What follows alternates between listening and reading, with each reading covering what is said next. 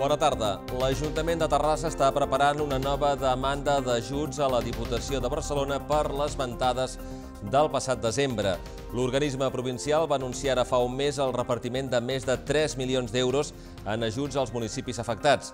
En el cas de la nostra ciutat es destinaven 94.000 euros, fet que va provocar reaccions crítiques per part de l'Ajuntament perquè municipis menys afectats van tenir ajuts molt superiors. Ampliem detalls després de conèixer el sumari del dia. Maribel Ainé rep el Premi Terrassa per la Igualtat. El certamen de la Regidoria de Polítiques de Gènere vol distingir les entitats o persones que defensen els drets de les dones i la igualtat de gènere.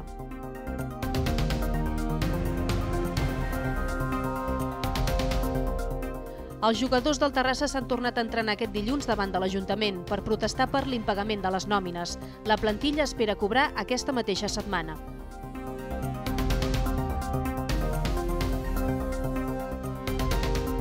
«35 contes d'arreu de Catalunya opten al tercer premi Tal com sents. Els guanyadors es coneixeran el 6 de maig en l'acte de lliurament dels guardons que tindrà lloc a l'Institut Investigador Blanchard.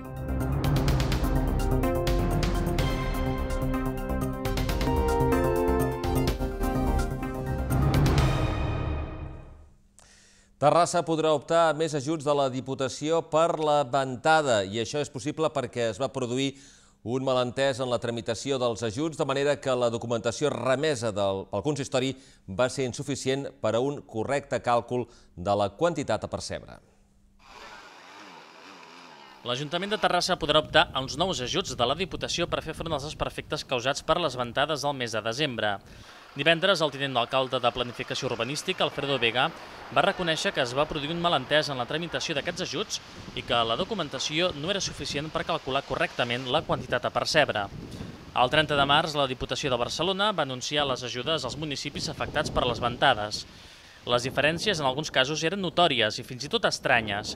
Municipis molt més petits i menys damnificats com Mata de Pere els pertocava molts més diners que Terrassa.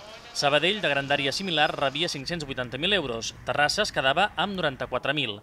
L'Ajuntament de Terrassa agraeix el gest de la Diputació per deixar la porta oberta a una nova sol·licitud, en la que ja s'ha estat treballant. La ventada del 9 de desembre va provocar dos morts i danys per valor de 2,2 milions d'euros al terme municipal de Terrassa. Canviem de tema. La Secretaria de la Dona de Comissions Obreres ha estat guardonada amb el Premi Terrassa per la Igualtat. Aquest primer certamen ha estat convocat per la Regidoria de Polítiques de Gènere i vol distingir les entitats o persones que defensen els drets de les dones i la igualtat de gènere. Maria José Merino, de California Sports, ha estat la finalista. La Secretaria de la Dona de Comissions Obreres ha estat la guanyadora del primer Premi Terrassa per la Igualtat, atorgat per la Regidoria de Polítiques de Gènere per reconèixer públicament l'actuació d'aquelles entitats o persones que s'han distingit per la seva tasca en l'àmbit de la igualtat de gènere. L'entrega de premis s'ha celebrat aquest dilluns a la tarda al Saló de Plens de l'Ajuntament. Maribel Ainé, com a responsable de la dona de Comissions Obreres del Vallès Occidental, ha recollit el guardó i l'ha dedicat a totes les dones que contribueixen a la cura i al manteniment de les seves famílies en aquest temps de crisi. Per les dones solteres, les mares soles, les dones joves, les adultes, les grans, generadores de riquesa, i cuidadores de vida, Comissions Obreres els hi vol dedicar aquest premi. Per la seva contribució al foment de l'esport femení, Maria José Merino, de Califòrnia Esports, ha estat la finalista d'aquest guardó. Estic emocionada perquè això li dedico a totes les dones que venen amb mi, que fan la seva jornada laboral dins o fora de casa i que troben temps per fer com fan els homes. Fer alguna que els hi agrada, fer alguna que els hi fa ser més feliços i a més amb el cali humà que poden trobar allà. Doncs gràcies a tots, això és per elles. La regidora de Polítiques de Gènere, Almudena Almagro, ha volgut explicar l'objectiu d'aquests premis que reconeixen públicament la tasca de les associacions, entitats i persones que han ajudat a democratitzar la societat. Si hem de definir l'objectiu d'aquest premi, diríem que neix amb la voluntat de visibilitzar les contribucions de totes les persones i entitats que han lluitat pels drets de les dones. L'acte s'emmarca dins de la campanya del 8 de març que cada any organitza la regidoria per sensibilitzar la població i fomentar la igualtat de gènere. Doncs coincidint amb el lliurament d'aquest premi a l'Ajuntament, a l'exterior, al Raval de Montserrat es vivia una nova concentració i minut de silenci contra la violència domèstica. Es feia aquest dilluns a la tarda sota el lema Construïm una nova cultura, diguem no a la violència contra les dones. Organitzada per la Comissió 8 de març, desenes de ciutadans s'han aplegat i han secundat el minut de silenci contra la violència masclista en una mobilització que s'acostuma a fer cada dia 25 de mes i que en aquesta ocasió s'ha fet un parell de dies més tard perquè coincidia en dissabte. Una portaveu de l'organització ha llegit un manifest per denunciar la xacra social que suposa la violència contra les dones. L'Ajuntament de Terrassa i l'Escola President Salvans han desmentit els rumors sorgits sobre l'escola. Es tractaria d'una falsa notícia que parlaria de presumptes pressions a alumnes del centre per part d'altres estudiants d'origen magribí en relació al menjar que porten a l'escola i a l'idioma utilitzat. L'Ajuntament de Terrassa i l'Escola President Salvans desmenteixen els rumors apareguts a les xarxes socials sobre la situació que es viu al centre. Es tractaria d'una falsa notícia que ja va aparèixer fa gairebé 3 anys i que parlaria de presumptes pressions a alumnes del centre per part d'altres estudiants d'origen magribí en relació al menjar que porten a l'escola i a l'idioma utilitzat pel claustre de professors i la direcció amb els pares, mares i tutors legals de l'alumnat. Respecte a l'idioma emprat en les seves comunicacions i circulars, el centre educatiu recorda que la llengua vehicular de l'escola és el català. A més, nega que es faci cap comunicació en àrab i aclareix que en cap moment s'ha discriminat el castellà. Pel que fa als entrepans dels alumnes, l'escola assegura que sempre ha aconsellat que esmorzin de forma saludable, incloent el consum de fruita, però també entrepans de qualsevol tipus. El consistori i el centre lamenten profundament que aquests rumors, que consideren infundats, tornin a circular coincidint amb el període electoral que s'aproxima. A més, condemnen rotundament aquest tipus de missatges que minen la convivència i difonen missatges xenòfobs. De P3 a 6 Gràcies, president Salvans. I ara ens ocupem de la sanitat. Reclamen una operació urgent per a una dona jubilada que pateix necrosi femoral.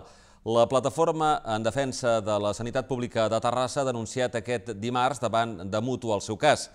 Malgrat els forts dolors, els analgèsics ja no li fan efecte i no es pot moure. La plataforma en defensa de la sanitat pública de Terrassa ha denunciat aquest dimarts davant de Mutu el cas de Carmen Martínez.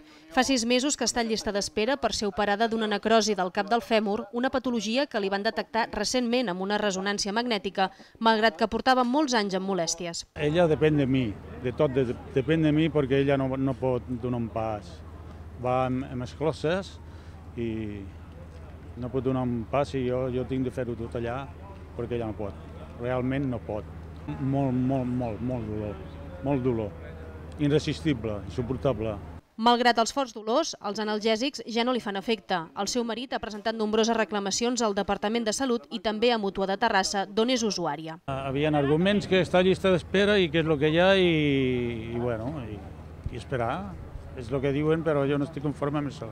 Davant la negativa de l'administració, la Carmen ha rebut el suport del seu metge de família, que ha reconegut la situació extrema de la pacient i ha elaborat un informe on fa constar la urgència. Per al matrimoni, la sanitat privada no és una opció. Jo he pagat tota la vida aquí i vull, i vull que me tinguin aquí. Eh, jo i la meva dona hem pagat tota la vida i per això vull que, que me tinguin aquí. Davant d'aquest cas, la Plataforma en Defensa de la Sanitat Pública de Terrassa denuncia una assistència ineficaç, inadequada i inhumana. El col·lectiu reclama una resposta individualitzada als pacients que pugui atendre les circumstàncies específiques de cada persona.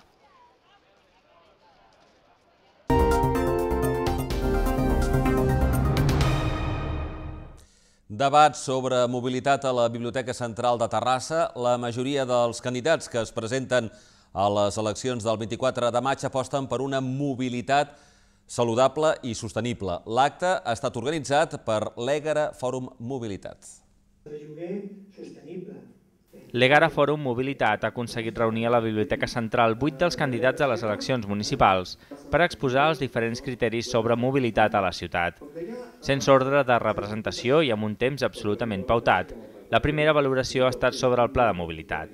Que és un document que explica aspectes positius de la ciutat de Terrassa per assolir determinats reptes vinculats a una mobilitat sostenible, d'actituds de la ciutat, de distàncies, de compacitat. Perquè no hi ha hagut la màxima participació ciutadana i coincidim amb els companys de Terrassa en Comú, arribat tard. Aquest és l'element essencial, un pacte per la mobilitat que està fonamentat en el consens, en un consens ciutadà, no només polític, sinó ciutadà. Està amb el Partit Popular i moltes altres formacions polítiques i moltes entitats de la ciutat. El disseny de la ciutat del futur sea un disseny de ciutat a medida de les persones i no de les màquines. Pensem que li manca una perspectiva de gènere per saber les diferents necessitats, donat que moltes vegades la xarxa de transports està molt masculinitzada i no respon a necessitats reproductives. Ja que a Terrassa tenim en alguns carrers una contaminació de l'aire que està per sobre dels màxims establerts, aleshores hem de fer polítiques encaminades a promocionar la peatonalització. El tema del bus centre per intentar que la gent pugui arribar a la mesura en què cada vegada hi haurà menys aparcament pel centre, segons la primera mesura. Hi ha d'haver-hi una aposta clara, penso, tots els ajuntaments, per fer una mobilitat més segura, més sostenible, amb unes ciutats, slow cities, unes ciutats més tranquil·les. Els candidats s'han hagut de posicionar sobre mesures per prevenir la contaminació, incentivar l'ús de la bicicleta o contra l'aparcament incívic. Aspectes que, tret d'alguns matisos, la majoria de partits coincideixen en el foment d'una mobilitat sostenible i saludable en una ciutat tranquil·la i accessible per tothom. El debat del Fòrum per a la Mobilitat ha comptat amb la participació d'un nombrós públic i amb preguntes sorpresa per als candidats. La Masia Freixa del Parc de Sant Jordi ha acollit aquest dissabte al migdia la presentació del llibre Rellotges en temps de pluja. L'acte estava programat dins del Mercat de les Pusses com un especial previ de la imminent Fira Modernista. Estava organitzat per Canaurell Comerç i Serveis al Parc de Sant Jordi, on s'han pogut trobar comerços, articles de segona mà, artesania i roba i complements per a la Fira Modernista. El llibre Rellotges en temps de pluja és una novel·la escrita per l'escriptora terrassenca Antònia Carrer Pons. Les actrius Carme González, Marissa Jossa i Cristina Sirvent han llegit fragments de l'obra. L'acte ha comptat amb la presència del regidor de Cultura, Amadeu Aguado. I en un altre punt de la ciutat, el Parc de Vallparadís tindrà un espai perquè els gossos puguin passejar lliurement sense necessitat d'anar lligats. L'Ajuntament ha endegat una prova pilot que té per objectiu conciliar-ne l'ús entre les persones propietàries d'animals i la resta de la ciutadania. Adequar un espai per a la lliure circulació de gossos a l'Horta dels Frares, al Parc de Vallparadís. Amb aquesta intenció, l'Ajuntament de Terrassa va iniciar la setmana passada una actuació per millorar aquest tipus de zones. Ha estat el primer de quatre projectes que s'estan desenvolupant de forma consecutiva actualment i que s'emmarquen en el programa Terrassa Barris en Marxa. Les característiques de la intervenció a l'Horta dels Frares són especials, ja que, de totes, és l'única instal·lació destinada a aquest ús que compta amb un horari restringit. Això significa que no serà d'ús exclusiu per als gossos, sinó que es tracta d'una prova pilot que té per objectiu conciliar-ne l'ús entre les persones propietàries d'animals i la resta de la ciutadania. Una font mixta dissenyada per a l'ús de persones i animals, reubicació dels bancs, instal·lació de papereres i un cartell amb normes i restriccions buscaran aquest equilibri. També s'intervé a la zona de lliure circulació de gossos del Camp del Roure, on al març ja s'hi va instal·lar una tanca. Ara s'hi col·loquen accessos, mobiliari, enllumenat i també una font. Altres espais d'ús per a gossos on s'intervé es troben a la Maurina i al Poble Nou, on s'arreglarà el mobiliari i la vegetació. Amb el nou espai ubicat a la Devesa Sud i amb la posada en marxa de la zona de lliure circulació de l'Horda dels Frares, Terrassa ja compta amb 5 espais d'aquestes característiques arreu de la ciutat. L'empresa Construcciones Fertres s'ha encarregat de les 4 actuacions per un pressupost total de 47.600 euros.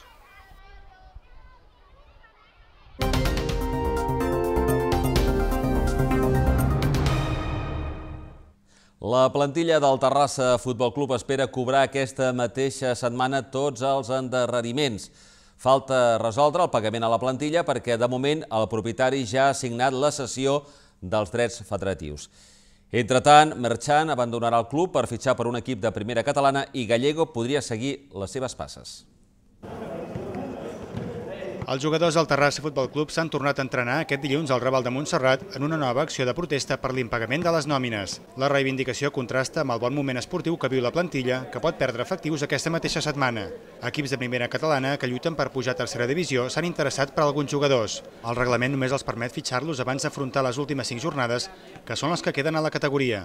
Víctor Merchan ja ha fet públic la seva marxa si no cobra i d'altres podrien seguir les seves passes. De hecho, estamos recibiendo ofertas de, de otro jugador, de gallego, eh, que pueden estar eh, equipos interesados en él, equipos que están arriba de primera catalana y, es cuestión de que él, de que él decida. Seguramente que en, estos dos días pues, reciba llamadas de estos clubes para, para intentar firmarle y, yo solamente lo único que me queda es, es que ellos decidan. Yo, yo más no puedo hacer. Y el viernes, a partir de viernes, ya no ha cobrado equipo. Eh, no sabemos si jugaremos el domingo, sí o no. Me imagino que sí porque sería el, el, partido que queremos jugar, no? Pero si no, el lunes ya sopesaríamos no jugar ya los dos próximos partidos, lo tenemos más claro que l'agua. De moment, el propietari del club, Jesús Fernández, ha donat un primer pas i ha signat un document pel qual cedeix els drets federatius a la plataforma que vol transformar la Societat Anònima Esportiva en un club social a través del futbol base Terrassa. Una operació, però, que ha de validar la Federació Espanyola. El regidor d'Esports, Alfredo Vega, ha parlat amb els capitans de la plantilla. Recolza aquesta opció de reconversió del club com a única solució per resoldre momentàniament aquesta crisi. Si aconseguessin un club social en certa solidesa, en una massa social important, pues és veritat que en els moments socials i que passem, jo crec que al millor és bona tenir eh, molts que aportin una miqueta i no pocs que aportin molt. Això podria ser una solució i és una manera també d'aconseguir que el club pugui apropar-se també a la ciutat. Ara, això són opcions que s'han de treballar i que cal veure. Jo crec que eh, això li hem de donar temps si realment no hi ha impediments a nivell jurídic i a nivell de la federació. La plataforma que lidera la conversió del club demana temps per aixugar el deute amb la plantilla. Un temps, però, que alguns dels seus integrants ja no estan disposats a donar. Us parlem ara de waterpolo. La divisió d'honor al Club Natació Terrassa ha fet història al finalitzar primer de la Lliga regular. La victòria contra el Mataró en el darrer partit confirma l'excel·lent temporada de l'equip de Dani Nart. Tocarà ara refrendar-ho amb els play-off. Precisament els maresmencs, el Mataró, seran el rival dels agarencs a l'eliminatòria de quarts de final. El Club Natació Terrassa ha aconseguit aquest cap de setmana una fita històrica al club. Acabar la fase regular en primera posició, un fet que encara té més valor tenint en compte que els de Dani Nart ho han fet superant el gran dominador del waterpolo estatal dels últims anys, l'Atlètic Barceloneta. El Natació ha confirmat el primer lloc en l'última jornada davant del Mataró, imposant-se per 9 a 7. L'equip terrassenc sabia el que hi havia en joc i ha començat molt fort i ràpid. Un parcial de 5 a 0 semblava deixar en un tràmit el que quedava de partit. Ha estat aleshores quan els terrassencs han volgut controlar el partit i el Mataró ha reaccionat, guanyant el segon i el tercer quart. A això cal afegir l'excel·lent actuació de l'exporter del natació, Michael Diakonov, amb intervencions de mèrit.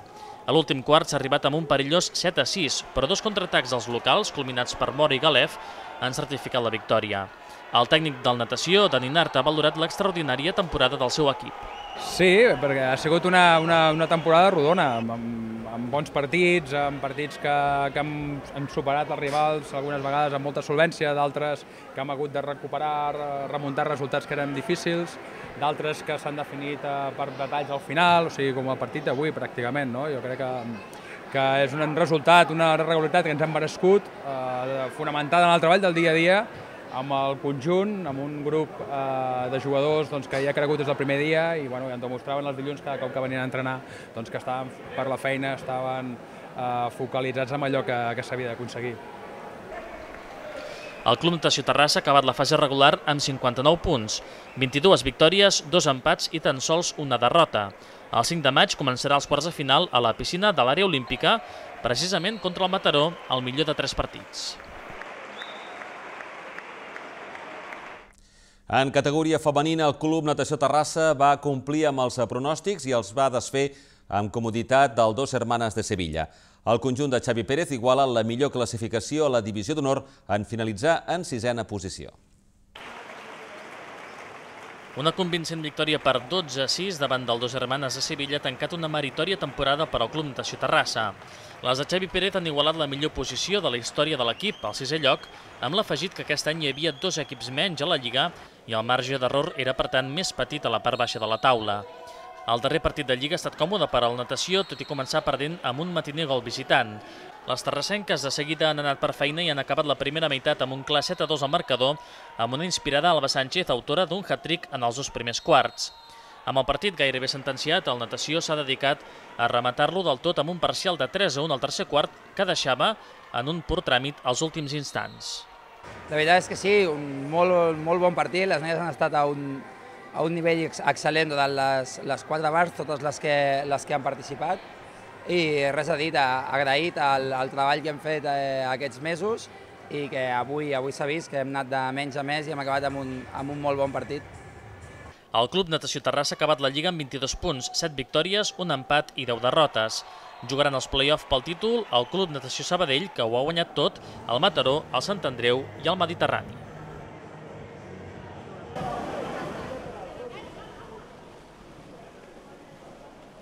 El partit contra el Dos Hermanes ha estat l'últim per a Maria Cifuentes. La garenca, un pilar en l'esquema de Xavi Pérez, es retira com a jugadora en actiu als 27 anys per motius laborals. Ha estat, de fer, tot un símbol a la secció, ja que ha passat per totes les categories inferiors del Club Natació Terrassa i ha estat una dècada al front del primer equip, amb qui ha aconseguit dos ascensos i un subcampionat de la Copa de la Reina. Cifuentes ha rebut un càlid homenatge de les seves companyes i una llarga ovació de la graderia. Tocarà, doncs, suplir el seu buit amb l'inesgotable planter que té l'entitat.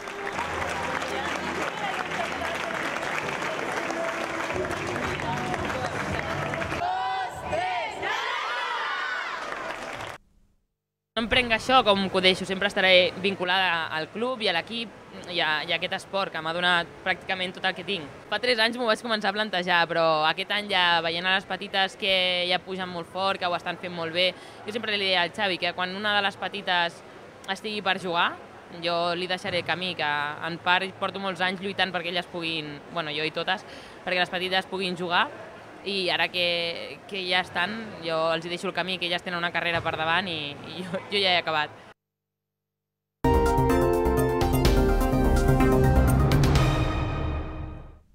Un total de 35 contes d'arreu de Catalunya opten al tercer Premi Literari Tal com Sents. Els originals ja estan en mans del jurat, que es reunirà a finals d'aquest mes per valorar-los. Els guanyadors es coneixeran el dia 6 de maig en l'acte del lliurament dels guardons que tindrà lloc al centre. Un total de 35 contes d'arreu de Catalunya opten al tercer premi Tal com Sents, organitzat per l'Institut Investigador Blanchard i adreçat a professors en actiu de qualsevol centre escolar, públic o privat i de qualsevol especialitat. Cap dels participants d'aquesta tercera edició del certamen és de Terrassa. N'hi ha, però, 5 de Barcelona, 4 de Sabadell i 3 de Sant Cugat.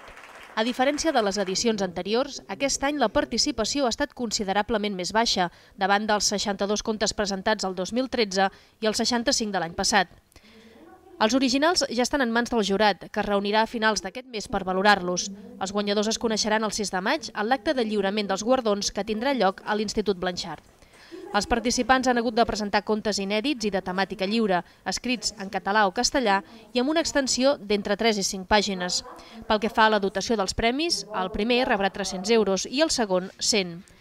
D'altra banda, els organitzadors estan preparant l'edició del llibre El secret i altres relats, il·lustrat per Marta Ruiz i en portada de Rat Gallard i que recull 17 dels 65 contes que es van presentar a l'edició de l'any passat. La presentació coincidirà amb el lliurament dels premis de la tercera edició del certamen. La plaça Vella ha estat escenari aquest diumenge al migdia de la tradicional ballada de bastons a motiu de la 34a diada de la colla dels bastoners de Terrassa. A banda dels bastoners de la nostra ciutat, hi han participat altres colles. Aquestes han estat els bastoners d'Esplugues de Llobregat, bastoners de Sabadell, bastoners de les Roquetes del Garraf, bastoners de l'antic poble de Sant Pere, bastoners de la Universitat Autònoma de Barcelona i bastoners de Copons. L'acte ha comptat amb la presència del regidor de Cultura de l'Ajuntament de Terrassa, Amadeu Aguado. I la parròquia de Sant Pere ha acollit aquest diumenge la missa solemne en honor a la Santa Cruz del Voto de Can Jaiar. La missa ha estat oficiada per Monsenyor Josep Àngel Sainz Meneses, bisbe de Terrassa. L'acte havia estat organitzat amb motiu de la festa de la Santa Cruz de Can Jaiar a Terrassa per l'Associació Cultural Andaluza Amigos de la Santa Cruz de Can Jaier. Posteriorment, i en un restaurant de la ciutat, s'ha fet un dinar commemoratiu de la festa de la Santa Cruz de Can Jaier a Terrassa. El tinent d'alcalde de Serveis a les Persones, Cohesió i Benestar Social, Manel Pérez, i el regidor de Cultura, Madeu Guado, han assistit a la celebració.